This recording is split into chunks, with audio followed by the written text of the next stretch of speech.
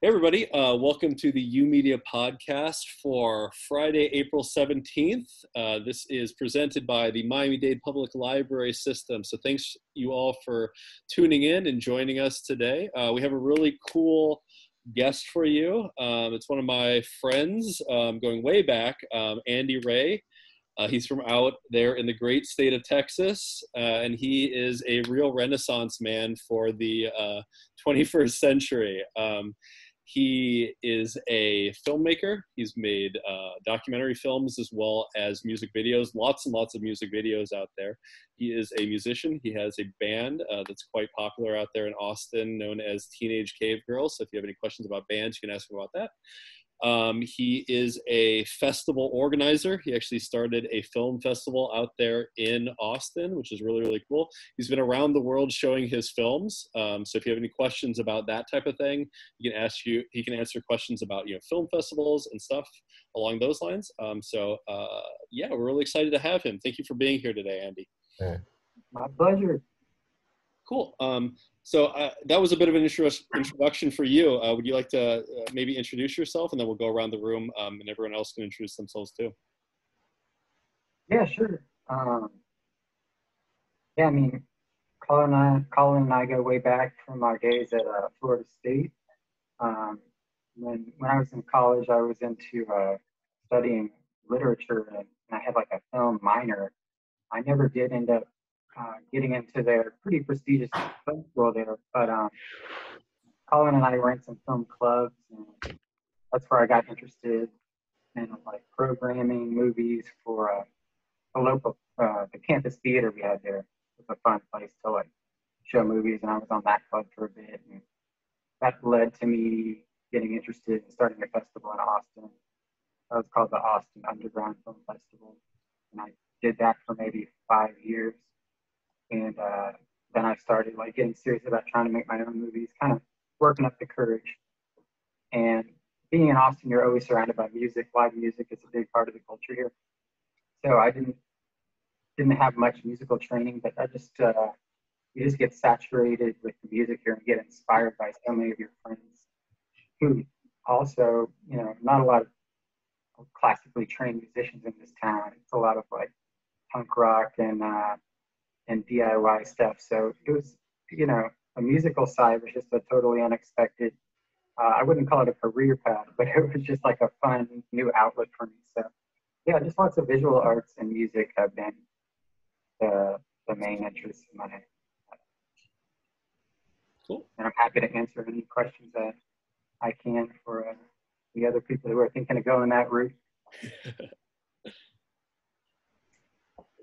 So my staff, you guys want to introduce yourselves, then we'll get the teens and we'll go from there. Oh, Galen's in the house. Cool.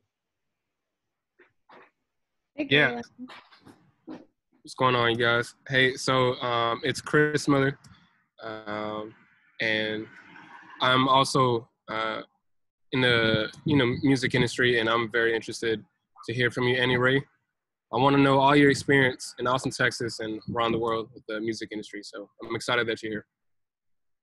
Happy to be here. Uh, Hi, my, name is Shimi. Oh, you gotta go. You can go. You can go. All right. Um, so my name is Shamir.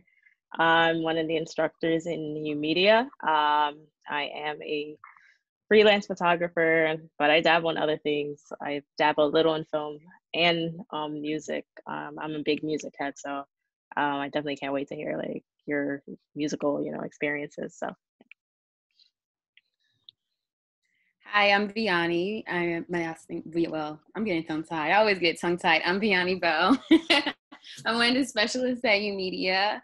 I've dabbled in all forms of media. I have a background in journalism and media studies, and I've dabbled in predominantly um, fashion photography and avant-garde filmmaking in college. Very cool. Um, I'm Rachel. I'm one of the instructors at YOUmedia. Um, I've worked on, I've produced and directed short films as well as created um, different types of multimedia and um, print um, print art as well. Um, and yeah, I'm excited. I really love music. Um, so I'm excited to hear about your experiences. Hey guys, it's Vinny, also one of the specialists here at YOUmedia. Um, I specialize more into film, but I'm also excited to hear um, what, what Andy has to say about music because I grew up, you know, playing drums, you know, so I'm always, you know, involved in music, any shape or form. Um, so yeah, so we can get one of the, the teens now to introduce themselves.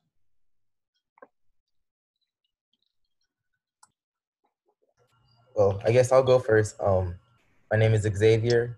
Uh, I used to go to YOUmedia, but due to uncertain circumstances, it um, backfired. Uh, I've done photography a little bit, done some Photoshop, and yeah, honestly, I want to know what it's like to like honestly work behind the camera is what I'm asking. Cool. Yeah. Be happy to talk about that. My favorite place to be. Okay. Um, I'm Nathan. I'm one of the teams at YOUmedia from the part of the Lemon City Library branch. I'm an aspiring artist. Um, I used to be a production assistant, so I know a little bit about the production, but I want to learn a little bit more. You know, and I'm just glad to be here, looking to grab any information that you have for us today. For sure. Good to meet you, Nathan. Say that again? Good to meet you, Nathan. Oh, good to meet you too. And last but not least, Galen. Are you here, man? Can you introduce yourself? Yeah, yeah, now I can hear you. Okay, that's Galen down at the bottom. Uh, so maybe I'll start us off with like a, a quick question. Um, so you have a lot of like different interests. Like you're you're a musician, you're a filmmaker, you're a, a vinyl DJ, you're a photographer. Um, you know, you organize uh, festivals and these things. How do you like you know manage all these different interests, and how do you like? Are, how are you able to perform them at a level, like at a professional level, um, like all those disparate things? How do you manage that? um, I guess it just uh, it kind of stems from the uh, you know the joy you get from uh, different kinds of outlets for all of your uh, um, I guess you know your different interests and emotions have. It's kind of like I feel like I'm I'm best in general at just like filing things where they need to go. So if I get a creative idea, um, the more outlets you have for that idea, the better, more organized your your like filing system for your arts is going to be. So sometimes you'll have an idea, and you'll think about it and be like, this idea is best expressed photographically. So you can you can do that if you know anything about photography. Or this idea would be better as a short story. So you, you know, if you have some experience writing, you can file it in your short story compartment in your brain. And then if you get um, kind of burnt out, as I often do, and working in one medium, um, it's good to just jump to another one, and your your inspiration um, can stay at a high level. And that's the best thing about having a lot of outlets. I didn't try to set out to be like, I'm going to master every discipline in the arts or something, because that's like a pretty insanely ambitious thing to do. It's just a it's just a great um, way to to have different um, places to put your thoughts. Xavier, you, you had a question maybe about like being behind the camera. Do you have anything specific Yes, you want to ask um, him? So like I've done a little bit of photography. Not much, but I know some things thanks to you guys. But um I was wondering like how does it really feel to like actually get paid for taking pictures for someone professionally? Like how is that lifestyle? It feels good. I mean, I haven't, uh, I have never been able to live just off of taking photos or anything, but it is a really fun. It's almost like more of a, a hobby for me and a, something that I want to get better at. But it's like a very rewarding process, and uh, it, it's I think when someone hires you to, to take photos, like most of the times when I've gotten paid in the past to take photos, it would be for like a band or something. And I think that's just like a really amazing compliment that another artist such as a group of musicians, would put that much trust into someone else with the, the most fragile thing about them. Like someone is willing to let you take a photograph of them like a portrait.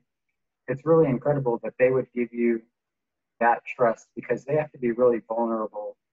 The camera sees everything and you can't really hide when you're when you're getting a photo taken, especially a portrait.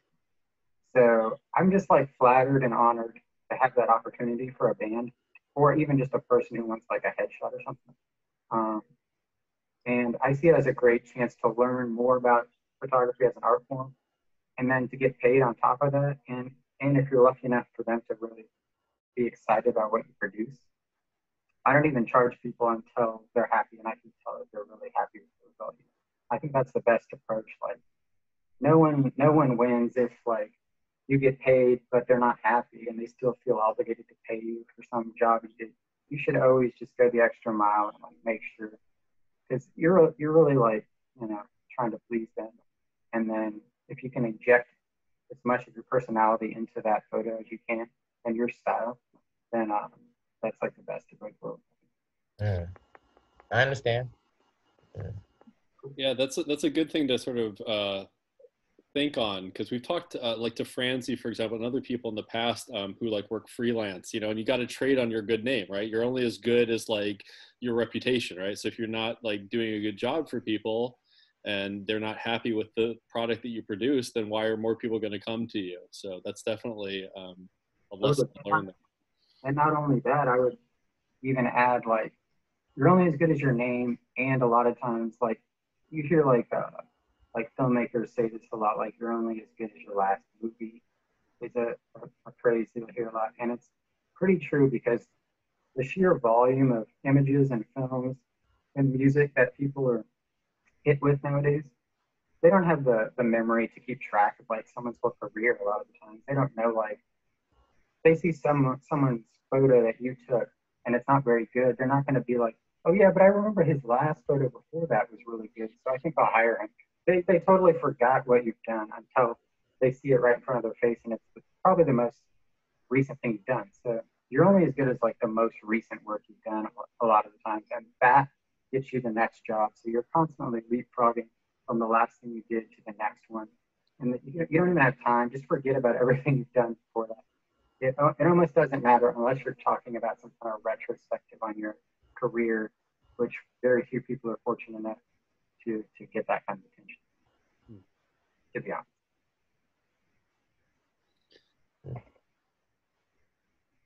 But yeah, hopefully that answered the question. Absolutely. That did.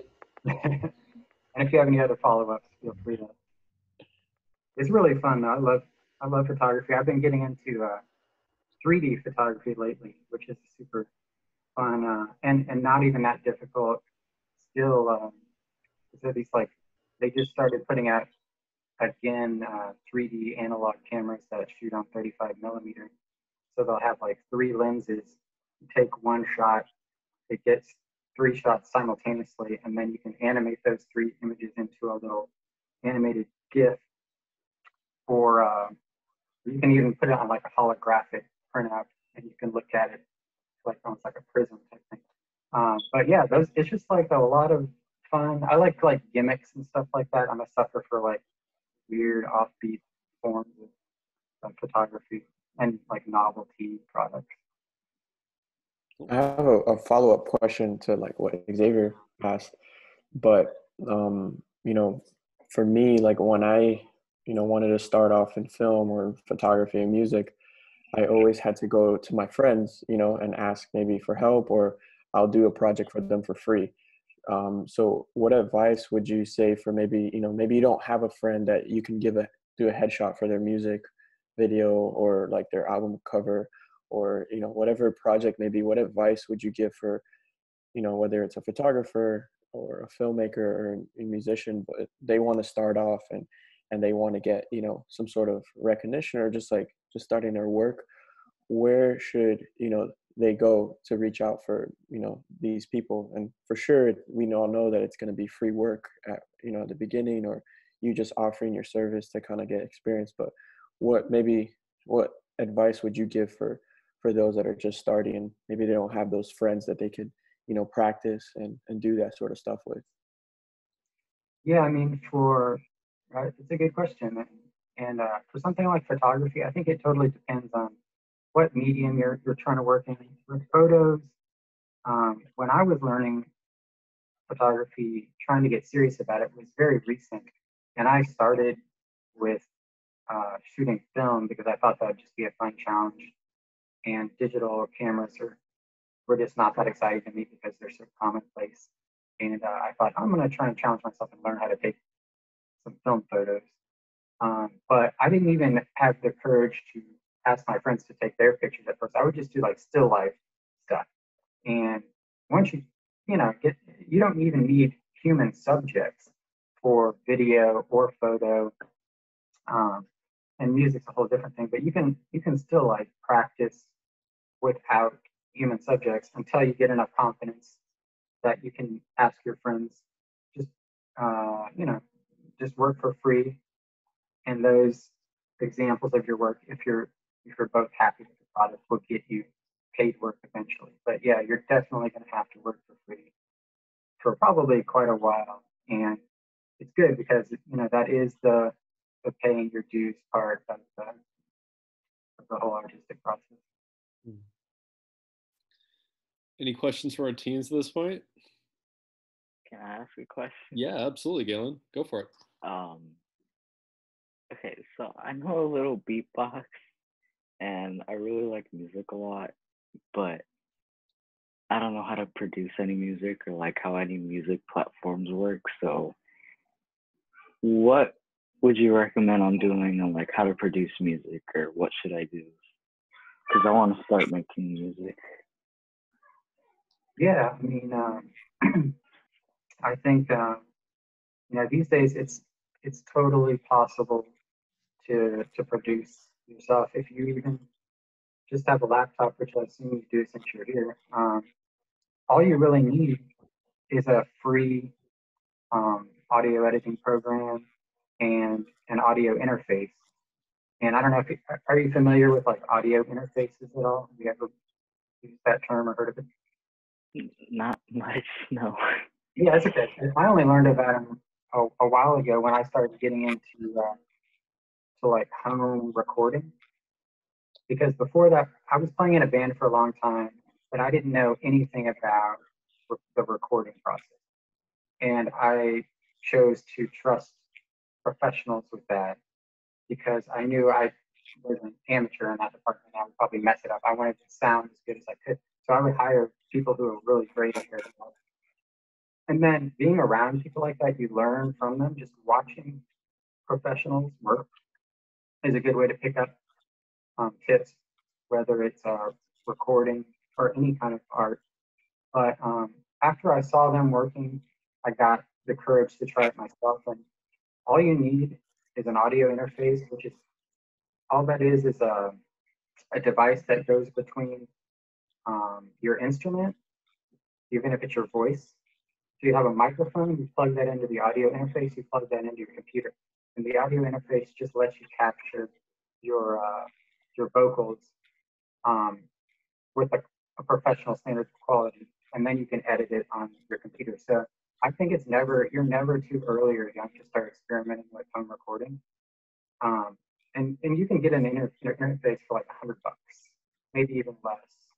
Um, and it doesn't have to be any kind of fancy one. That's enough to start learning on, and you can have like a lot of really big bands even um, if they want like kind of a lo-fi sound because that's like a popular thing to go for you know if you if you don't want it to sound too polished even big groups will use cheap audio interfaces to try and get that lo-fi sound like someone like Mac DeMarco or something re- recorded a whole album in his bedroom with a cheap interface. So his whole setup was like a couple hundred bucks and yes he was going for kind of a lo-fi sound but those the technology now is capable of producing professional results with just very inexpensive gear. So get yourself a mic, get an audio interface, and a free audio editing program, and you can start experimenting with recording your own uh, music really quickly. I have a follow up for that, I, and I think um, one of the things that Galen might have been curious about that is that you. So once he makes the thing, Mm. how do you get the thing out there for people to like listen to? And Andy is interesting because not only is Andy putting things out on digital platforms, maybe you can talk a little bit about how you do that, but you're also producing physical media. You're producing records. You're producing vinyl. Um, so your, your music you can actually buy in a store, or you can order and have it in your hand. Totally, yeah. Um, I always kind of like, you know, try to go against the, the grain of popular culture because I, I enjoy, uh, you know, doing things in like an underground way or punk way or do it yourself kind of style. And, you know, it's a really fun thing to do to produce a piece of physical medium. And in this day and age, it's kind of a novelty and people get excited about it because it's hard to convince anyone to say to buy music. You know, it's like you can probably find a way to get it for free, but if someone has a record or something, you might actually pay them for it, and they'll get the digital downloads with it for free. Everyone throws that in at this point. Know? So like, if your friend's got a record and it's just an, a digital version, you might buy that record from him off of Bandcamp, or you might just listen to it for free. But if he has a record or a tape, you might as well give them like five or ten bucks, and then you'll have both, and then you have a cool little conversation piece you can have on your shelf, and your friends see it and they'll get jealous, and you can be like, "Yeah, this is my friend. Like he made this, and it's a pretty cool thing." So it's it's possible there are people out there who still pre- press vinyl and uh, make cassette tapes, and uh, and you can make your own tapes too. You just get a little four track recorder. So um, getting people to hear it is, is another thing. That's getting into distribution, which is a whole other thing. But um, yeah, it's. I feel like social media and mastering that, which kids now are better than I am because you grow up with it. It's all about self-distribution, using social media and getting as creative as you can possibly be with like videos that are self-promotion, um, just like using Instagram, TikTok, whatever it takes to get people's attention in like five seconds, because that's all you have.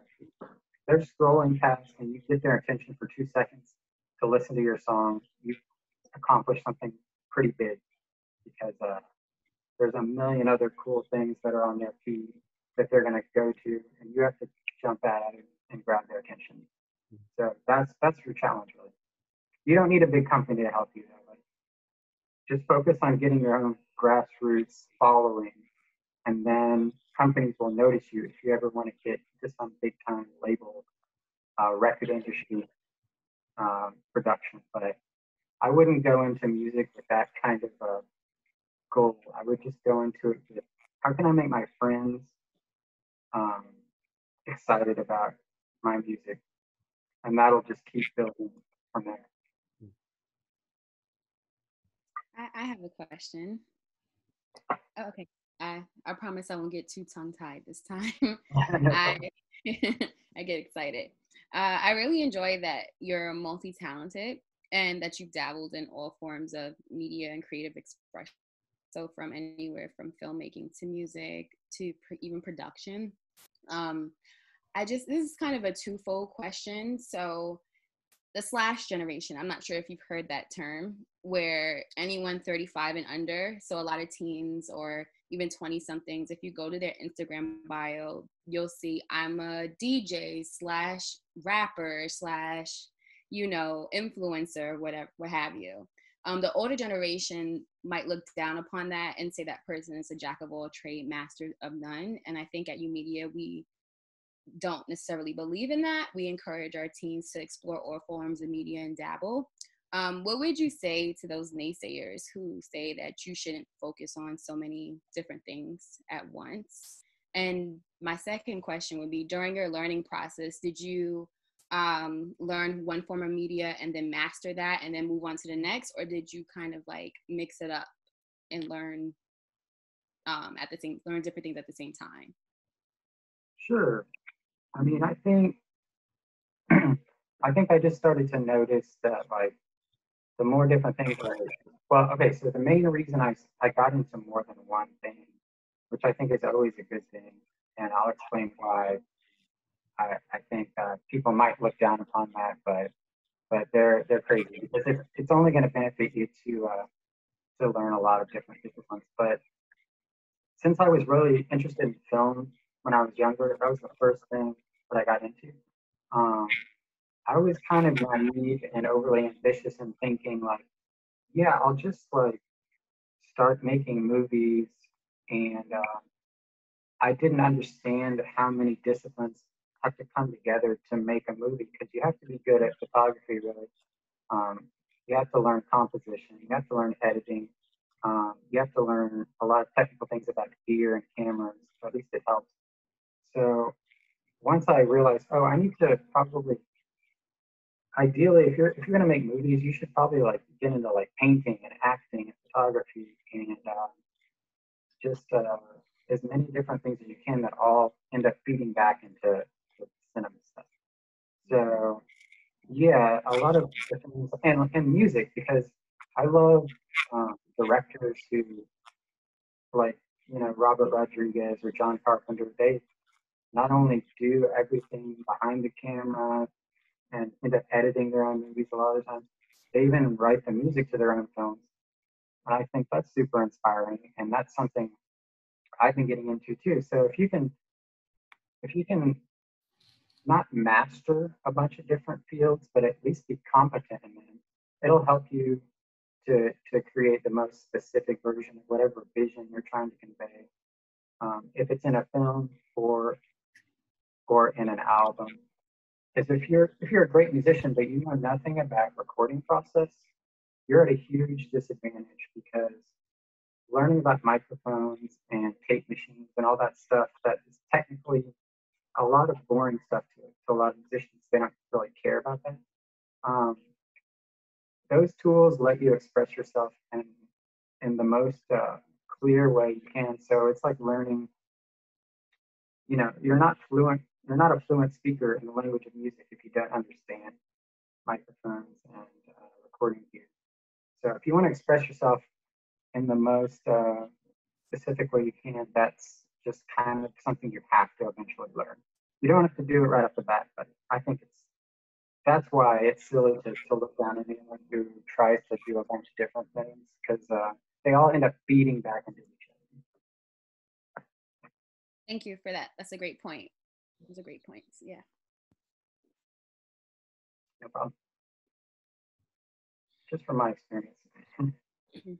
I do think it is, it is good to focus on some something, but uh, you know, it ends up just you learn from all the different um, different experiences, and they end up informing that that one thing. So yeah, just try it all, and then find what you like. For sure. Um, maybe uh, Nathan, do you have any questions for Andy at this point? Um, actually, everybody that went hit the dot on every question I was gonna ask. So I was just absorbing and listening to everything Andy had to say. So I appreciate him, you know, Okay. Giving us the information. So I- I've Yeah. got a I've got a question then. Um, so you you've been in music video. You've been uh, involved in music videos on both sides of the camera, basically in front of the camera and, and behind the camera.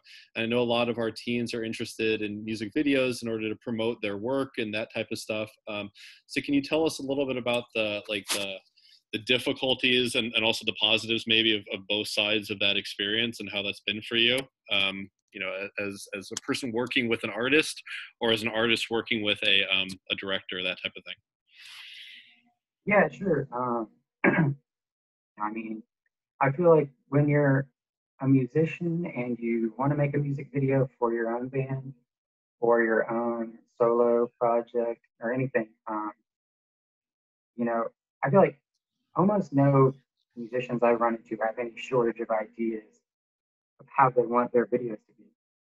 It's very rare the band would come to me and be like, just do whatever you want to do. Like, we don't care. Here's a blank check and a blank canvas. Just make us look cool. That's happened a few times, and it's the best, best thing you can ever ask for as a as a music video director or any kind of film director. People just trust you to do whatever you want. It's incredible, but you can't really rely on that because bands are full of musicians and musicians are artists and they have extremely opinionated views on um, on art and especially their image because when you're in a band these days, your image is so important whether you like it or not. You can't really ignore that side of the, the music. Your photos and your videos are going to be what gets people's attention a lot of times, even before they hear you. You're scrolling through and you see a band that looks really cool in a photo or a video, but the audio is muted. Um, you're probably going to click on the audio to hear what they sound like. If they look like a bunch of dorks, you're going to keep going right by and you're never going to even hear them. Even if they sound amazing, they just blew their chance to get your attention because they don't have a good look or whatever. So I think uh, most bands, if they, they could, they would clone themselves and they would be behind the camera shooting their own video, running sound for themselves, and be in front of the camera. That's what they ideally want because that's what I would ideally want as a musician. I have a hard time trusting other people to to shoot me because only I know what I want this band to be in my mind. But you have to give up some control, and that's the tricky part for a band to do. Just like when they're taking a, a photograph of you or whatever, you have to give over your control to another artist, and that's can be a scary thing. So I think I, having been on both sides, it's really been helpful because you can see how to work with people.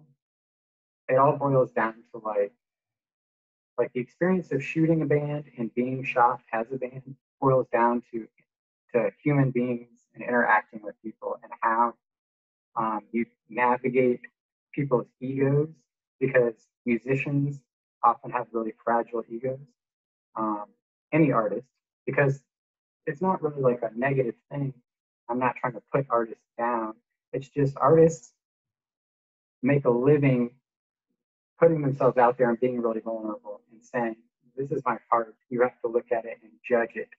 So, of course, they're going to be afraid when you trust that vision to someone else. Like, here's my heart. Try to make it look cool. Could you do that for me? it's like the biggest favor you can possibly ask someone. So if you if you know how to work with other people, that's the biggest possible thing to succeeding in any kind of uh, business side of music or, or the art world. If you can learn how to talk to people and communicate really clearly and effectively about how you want this video to look, because if you can tell them exactly what you want, you're going to get a better chance of them producing a video that you like and that's what you want. And then you still have to let them inject their own personality because you don't want to just dictate all the terms to someone else because then you're trampling over that artist's own input. So it's all about just working with people and navigating and communicating and letting people express themselves so that you both get something that you want. That's the hardest part of, of working with other artists. Makes sense. Lots of fragile egos, and uh, you have to tiptoe around them. But if you're good at that, you can get great things out of people. Mm-hmm. I have a personal question. um, where are you originally from? And are you um, originally from Austin? Uh, no, I grew up in uh, San Antonio. oh, is, okay. Yeah, about an hour away. And I was born in Houston. But yeah, I spent most of my life in San Antonio before Austin. And then I've been here for like, I don't know, 12 or so years. Okay, because I know that um, Austin's really popular. They have a huge music music scene, like South by Southwest Festival is there, and a huge tech scene. So, did you move there prior to the new um, creative scene, or have they always had a creative scene? Pretty much, I think the creative scene started in the '60s. Okay. When it really took off, um, and then when I got here, it was already rapidly growing, but I feel like I got here right when the match was lit and the powder keg exploded. The population blew up. It's probably gotten mm-hmm. twice as populated since I've been here. Uh, yeah, there's probably like two million people here at this point, and I got here maybe like a million. So wow, it's been pretty crazy to see that happen. Mm-hmm. Mm-hmm. Nice. Um, I'd like to hear a little bit about you know what's it like to have like a film that's like in a festival in another country. Like, what's that experience like like for you as as a, as a filmmaker, and what have you been asked to do at these different film festivals, and like you know what paint if you can paint us a picture about that. Totally. Um, I think that was a pretty eye-opening experience, um, and not what I expected at all. But it's weird because the film festival scene is like a a very strange, uh, strange scene that's constantly changing, and uh, it's probably totally different now than it was even when I was when I had a feature documentary circulating around, which was in 2000, I don't know, 15 or something like that. Um, but yeah, it's you know, I was it was festivals were just starting to take online submissions basically when I was sending that out, and now that's like the standard. Like, so I was actually still mailing off DVDs to people, which is kind of crazy because no one even does that anymore for a festival, um, which is great. So you can like apply online with websites like Film Freeway now, and you can just have one digital screener, send it to every festival that you want, and you still. I I ended up spending more on festival submission fees than the budget of that whole movie, just trying to get it in front of people. And that's, I think it was a good experience because I learned oh, this is what it takes for like the distribution if you're doing it yourself.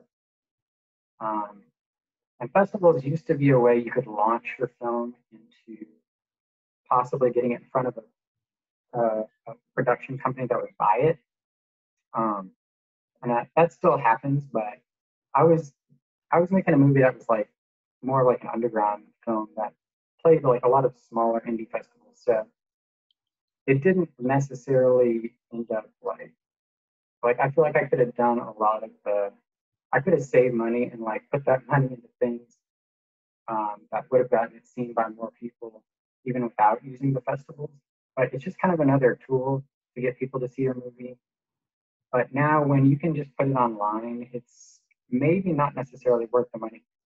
I would suggest to filmmakers who are thinking of using festivals to help them that they're not like some kind of uh, like magical lifeline into um, getting people to definitely see your movie. Because sometimes my movie would play to like almost no one in a theater, and that's a pretty like hard reality. Um, and festivals would would like not necessarily some of them would do a great job of promoting your movie and in like another city.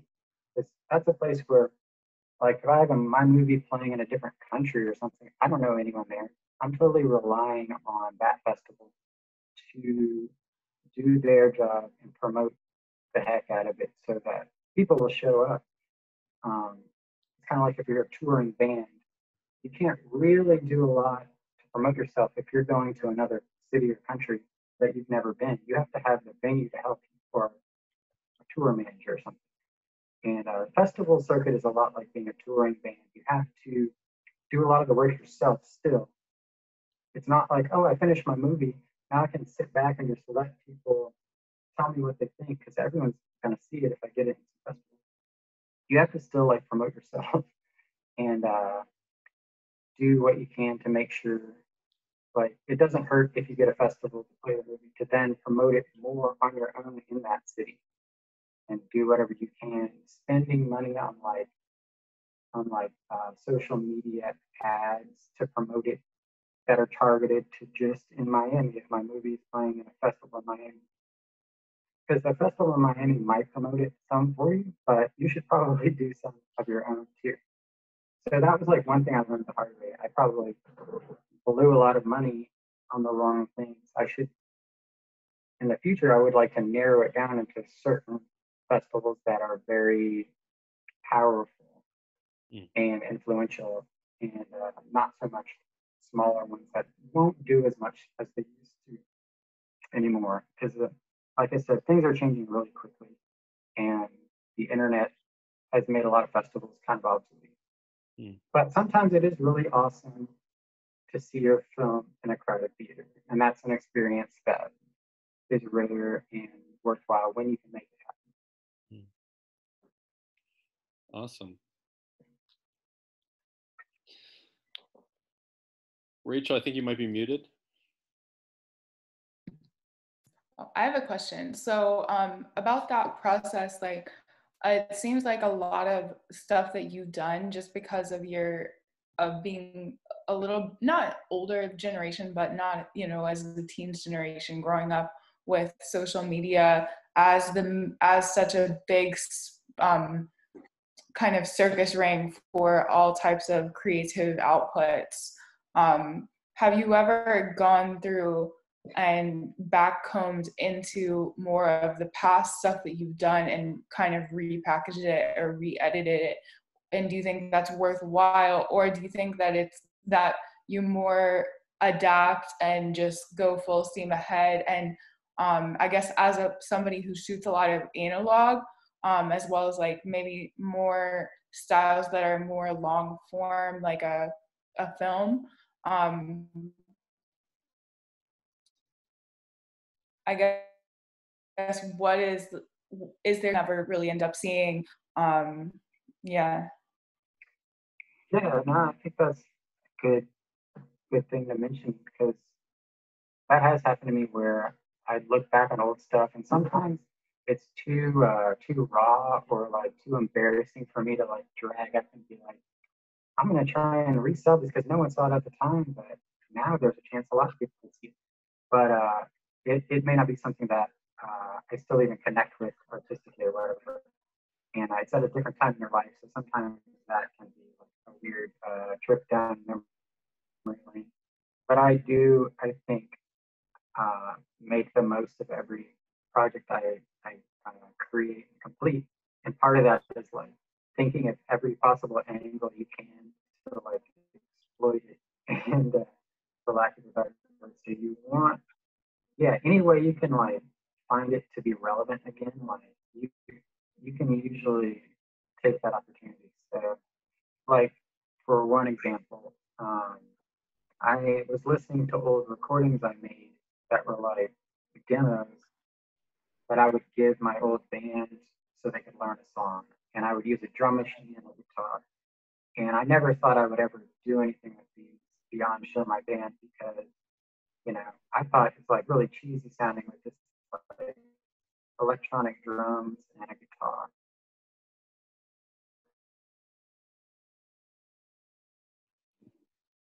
And that was a long like years of cool and modern now because drum machines are like really popular in and in you know, it's like synth music is like coming back in a huge way. And now this is almost like an edgy kind of modern retro thing to have guitar and a drum machine.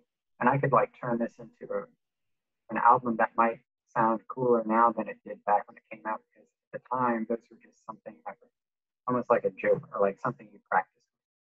So yeah, I think it's like good to revisit stuff and you can find ways that they're surprisingly might even be more relevant today than they were when you made them. Especially when like you never know the direction pop culture is going to go, and you might find connections to to the past that you didn't even realize could have been there when you were creating. Nice. Okay. Um, there any other questions from anybody? I have a question. So talking about like your music, your your band, Teenage Girl, was it? Teen, sorry, Teenage Kid Girl. Yeah.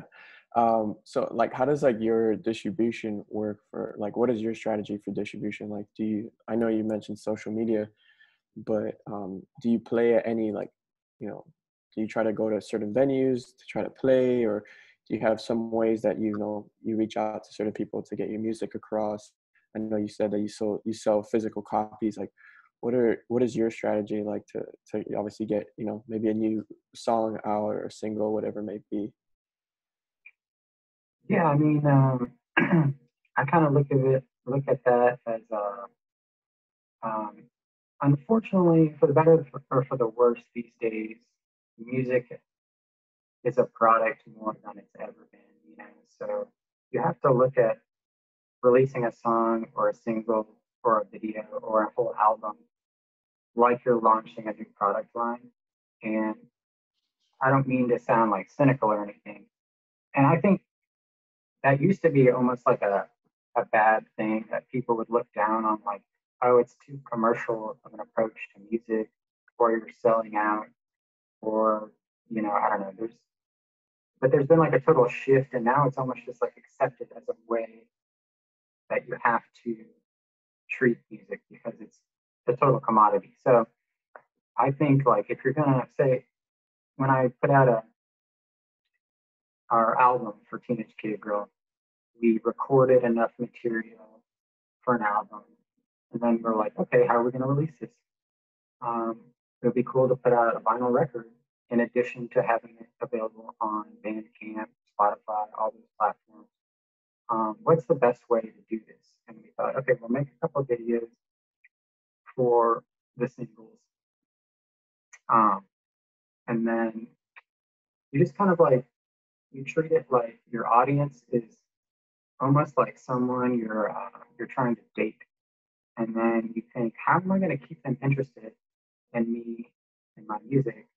I have to kind of like tease them and like build up to something where they they're really like drawn in and they want to see the next thing. So if you whet their appetite with a video, um, they're gonna look forward to hearing more of the music. And then by the time you have physical records, um, they might be willing to pay for that before you even launch the digital. So you know, you just kind of have to like uh, plan things out in like um, in a in a plan of attack that maximizes the impact each um, each like section of the product um, is rolled out. So if there's no right way to do it, and everyone is always coming up with new approaches, but I think that's that's it. Like your brand, your band is your brand. You have to um, you have to like yeah, just like seduce the customer base, but in a good, playful way. yeah, for sure. I think that it's not always going to be. There's no, like you said, there's no formula. There's no way to do it, and you know, I and and I ask this because you know a lot of our teams in our space and even staff, you know, are artists themselves, you know, and, and they have their strategies, you know, of how they do it because one way it's obviously that you're going to put it in some sort of platform like spotify apple music youtube and social media.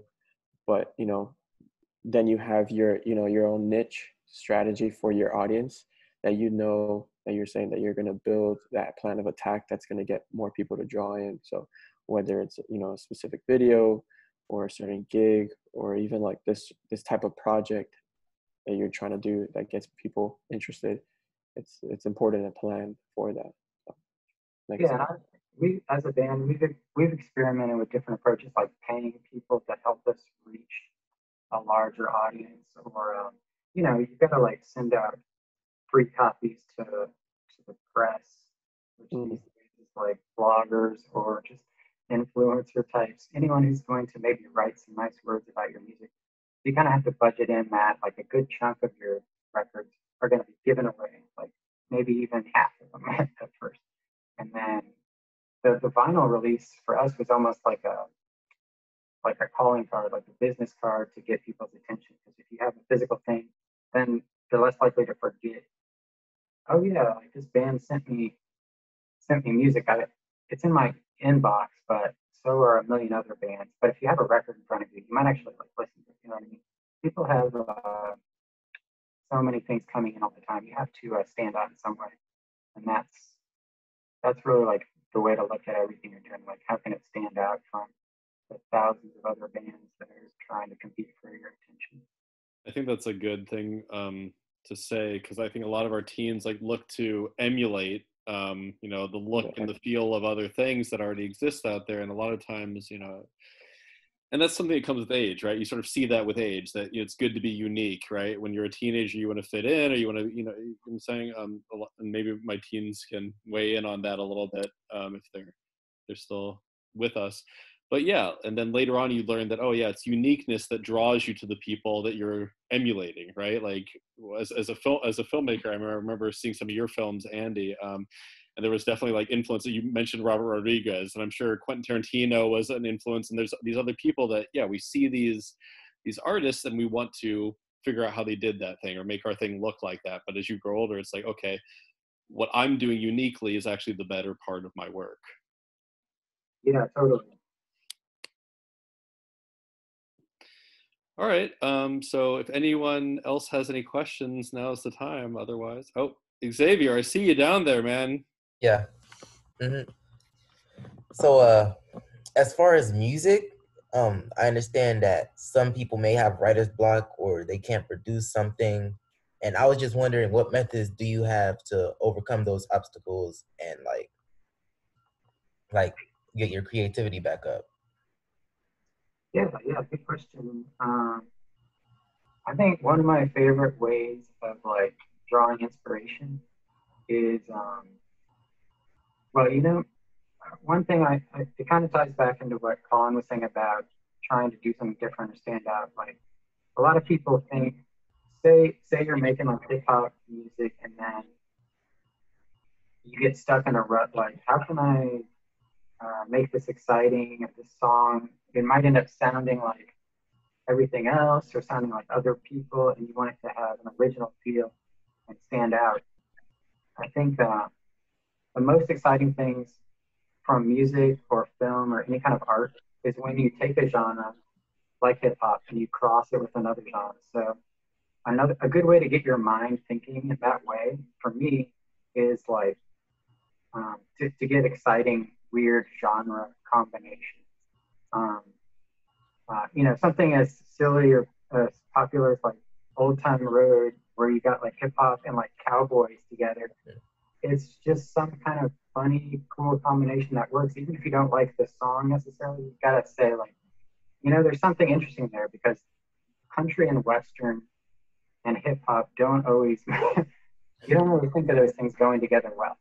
And that's like creative. You got to give them that. And I think uh, for me, it's a fun uh, hobby to like, like I'll throw a movie on, and then I'll I'll mute it and I'll play a soundtrack or a different type of music over it. And it's a really helpful approach because a lot of times, a music and movies, I always find myself, I don't know about you, but I'm always thinking like, this movie is pretty good, but this music is like ruining the scene, or like this music is terrible. I, I, I could have thought of 20 better songs to play over this song, this scene that would have made it way cooler, you know what I mean? Mm. And uh, so half the time you don't even lose anything. Just mute it, maybe throw on the subtitles, you can still like follow it. But it's usually a movie I've already seen. I'll throw on like one genre, like a kung fu movie, and then I'll play like hip hop over it or something. And then you start getting these weird uh, synchronicities happening where your your imagination just gets fired up because you'll see something like a weird juxtaposition, like a fight scene set to a hip hop song, and then it'll inspire like some strange creative avenue you can explore that maybe no one else has even thought of because you're just causing these weird collisions to happen. So that's a fun, fun way to do it. Like throw on like, um, like the Chinese drama, and then have like country music playing over it, and you'll get some weird ideas. I try.